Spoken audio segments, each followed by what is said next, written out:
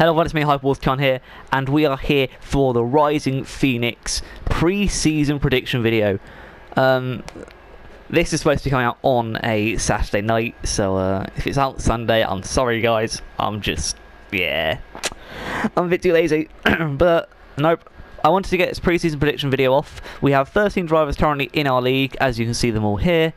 Obviously, I'm, I'm my main account's not racing, but I'm just going to get into it, talk about the drivers, about their teams, and out what we can expect from them this season. I'm going to start at the back, as I always have done. And uh, that is with a guy who has, actually hasn't got the get, hasn't um no has got the game sorry, but isn't very fast. And his name is TTV. Who cares? Unfortunately, he's not in this yet.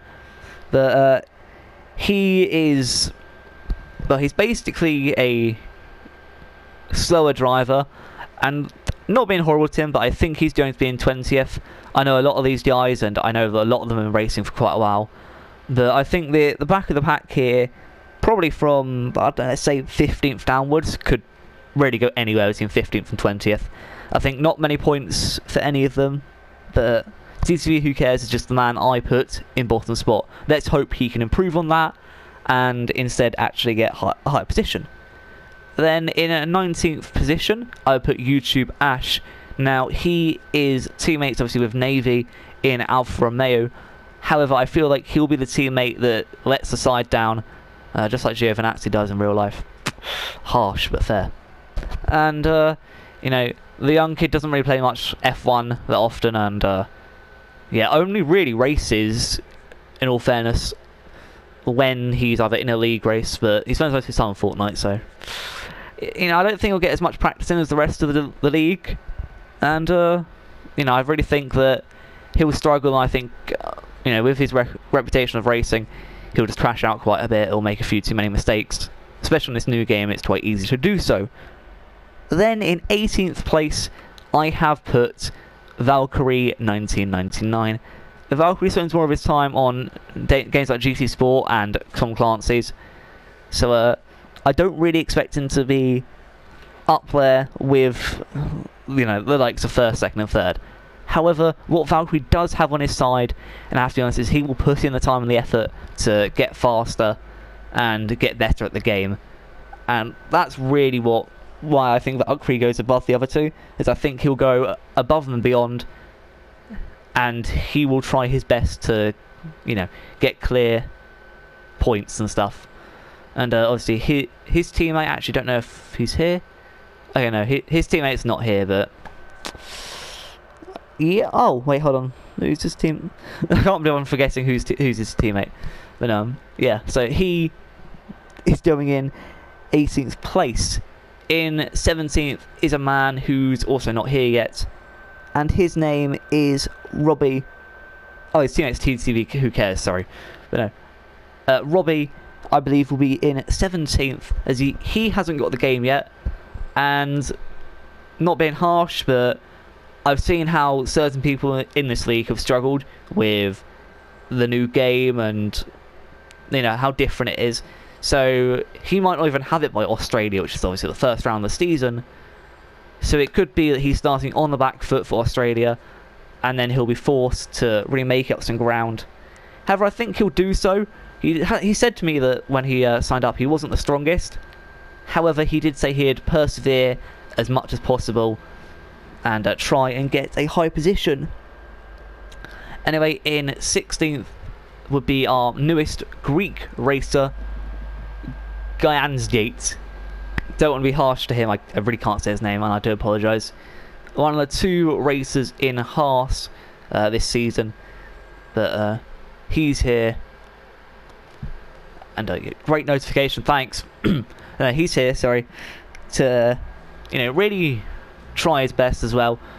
Like I said, uh, really 15th to 20th all could be switched around, but I, I, think he'll be one of those players who are in the mid pack, but just unfortunately get 11th or 12th a few too many times and uh, gets unlucky. However, I have seen him race a bit. He's clean. He's a very good driver, and he's a very good person too. He's not here to make friends, but he's also not here to win. He says so. Uh, it's only got competitive spirit, but also knows to take it just as a fun league, which is what Rising Phoenix is. Anyway, in 15th is Dark Phoenix. Dark Phoenix is in the racing points this season, and he's got faster since the F1 2018 days. But there's a big downside. The fact that I know he's learning how to use medium traction control and really isn't working. It isn't going too well for him. But I think he can definitely get a few good few points here and there. Just like probably anyone at the back, I think everyone will get some points. But it could be a long, hard season for him, especially being carried by his teammate in Racing Point. Moving on in to 14th is Sticky Bomb 04. One of the two Williams drivers here this season has joined us and uh, on a very controversial topic, but I'm not going to get into that. We're glad to have him, and uh, honestly, we really hope the best for him.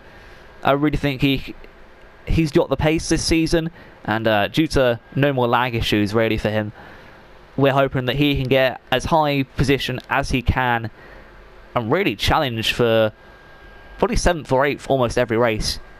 However, I do believe 14th is where he'll be because I trust every other racer in this league above him just has that slight bit more. Except one, who's in 13th, which is LK Avan. Now, the reason LK Avan is only in 13th is he's not got the game yet, and also I believe he's on, in my opinion, he's on the same level as Sticky Bomb. Both of them are good racers in their own right. However, it's going to be a tough challenge to see which of the two goes above. LK Avan obviously in the Haas this season, that it'll those two will be fighting it out for those points positions, really just try, going hammer and tongue against each other, and I think it'll be a hot, long, hard-fought season between the two of them. Anyway, in 12th place is our one and only American man, Navy, aka Vinny. Been racing with me for a very, very long time, and uh, obviously he's being he's got his teammate Ash there. However, Vinny's got faster every year he's played the game with me. So F F1 20, 2016 he was very very slow. 2017 I was just faster. In 2018 he goes a whole second above me. 2019 boom. I really think he's got it this year. And I really think that he can keep pushing and keep getting as fast lap times and he could possibly challenge the top six along with the guys in front. However, the one problem for Vinny which holds him back is the fact that he can only race sa Saturdays. So uh, unfortunately, he's only able to race one one of the two days a week, which will uh, really half his chances of getting points. Meanwhile, in 11th place is uh, another person who's not here uh, by the name of Wars Tian. Not see my good friend.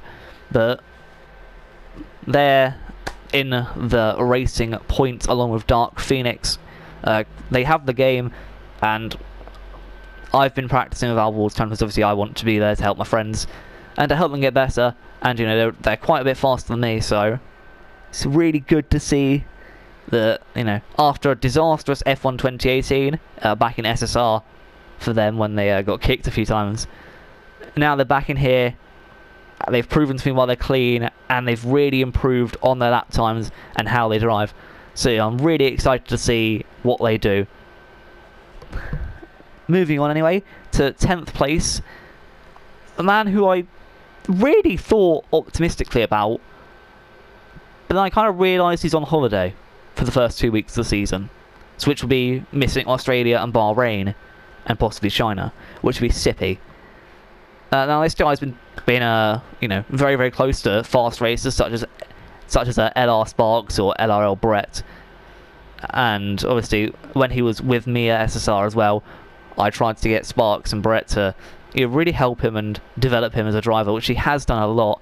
And I really think this year he could be one of those drivers to be up near the front and just try and push on the front guys, whom obviously I haven't mentioned yet, and uh, really you know, get the best out of his car.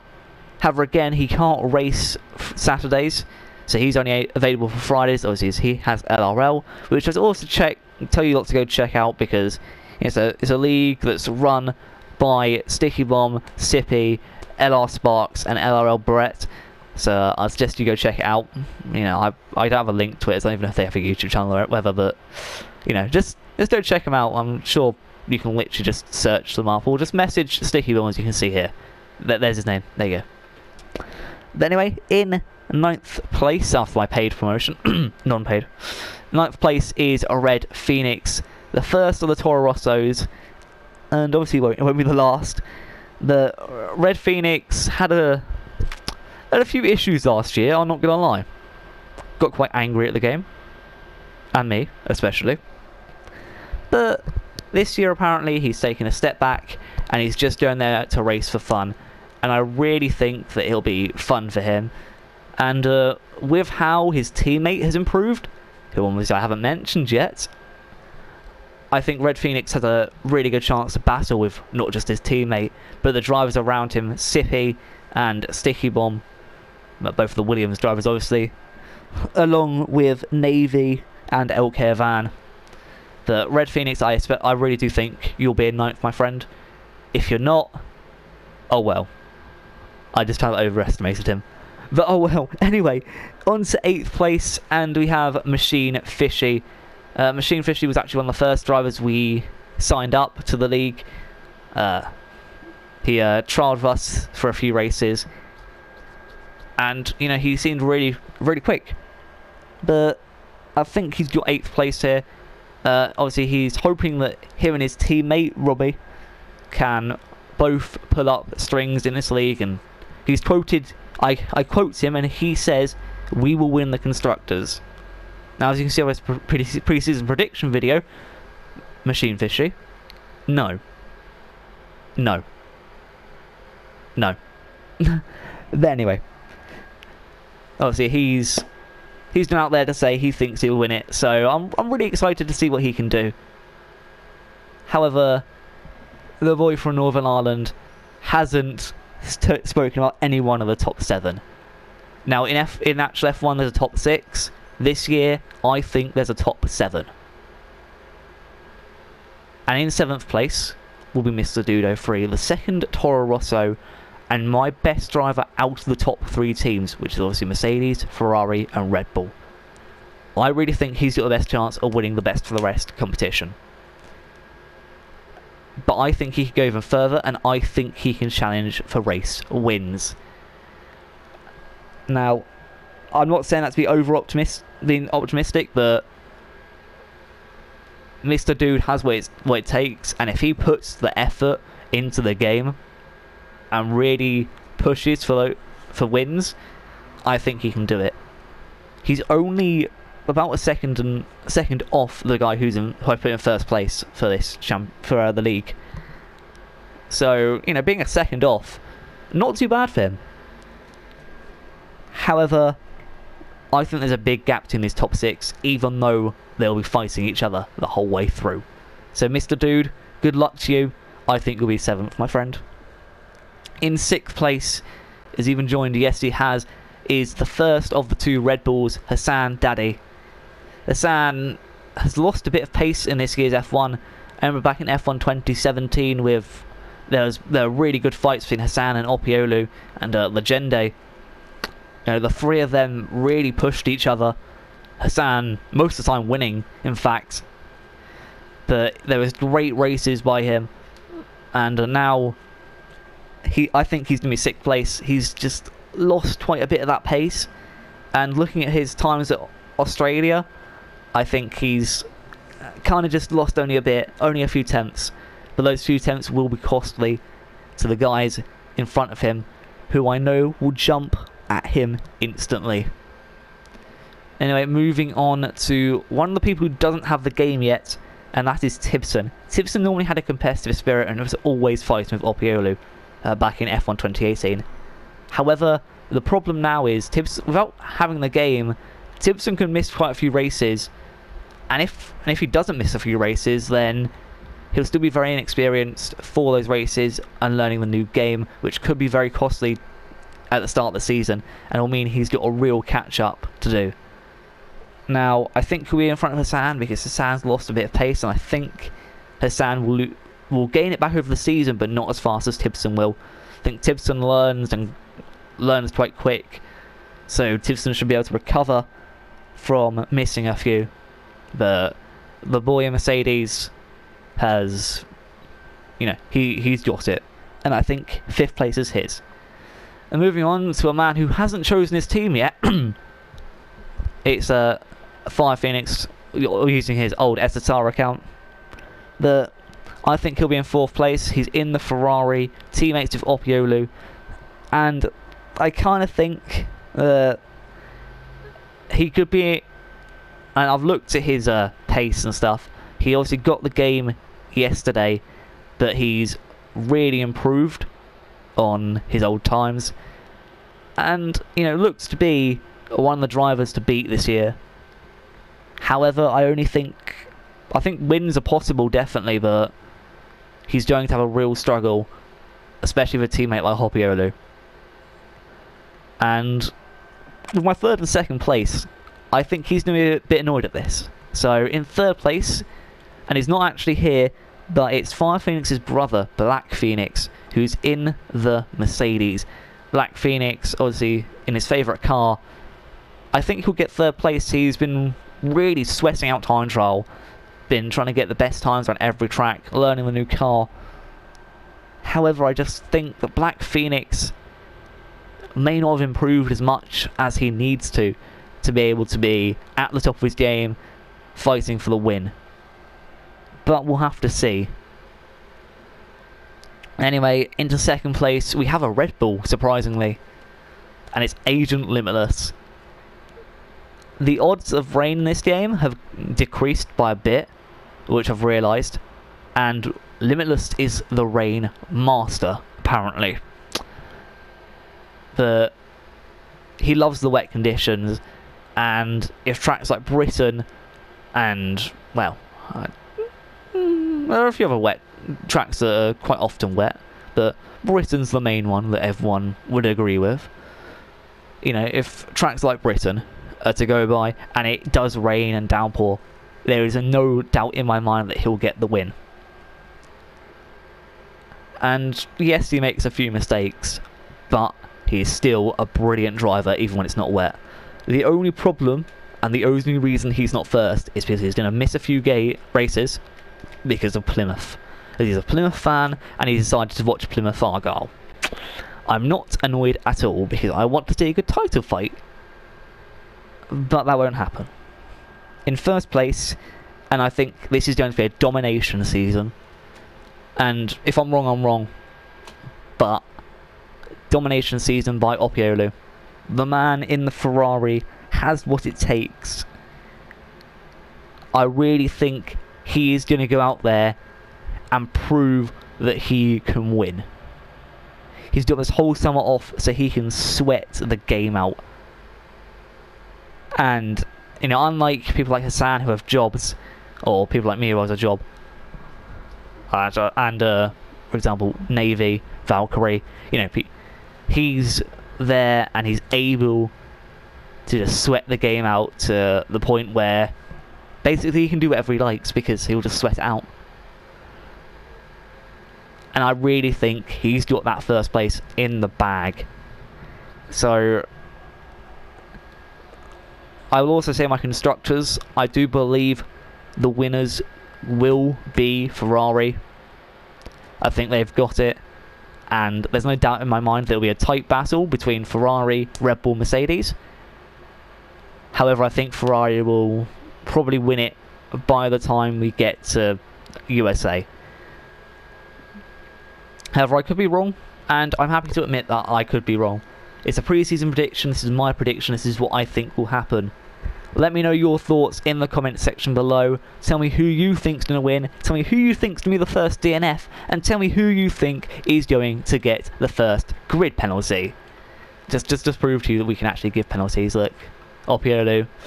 Uh, let's just... Hmm. Hmm, how many places do I want to give you as a penalty? Oh, oh, that that's perfect. That's perfect. Yes, yes, yes. It's obviously a joke. It's obviously a joke. Not yet, anyway. but anyway, thank you ever so much for watching. Please do give, give us a like, subscribe if you're new around here, and click the notification bell because we all know YouTube sub boxes are broken. Broken! Broken! So I just wanted to sing broken. Because that's how I feel right now. Yeah. anyway, I'll see you all next week on Sunday probably, where we'll have race one roundup. And uh, the plan for that will be each week I do a roundup. Oh, it'll be each week or after each race. I'll do a roundup of what happened in the race. I might be able to get the highlights. I don't know how they work yet, but I'll have a look. And I'll literally just say, this happened, this happened, who got the win, what the standings are looking like. And I really think um, it'll be good to see, you know, who comes out on top by the end of it. And it should either be race by race or week by week on the Sunday, hopefully. Or Monday if I've got football on Sunday. Obviously, that won't be till August, so don't worry, guys. But anyway, thanks all for watching. I'll see you in the next one. Peace.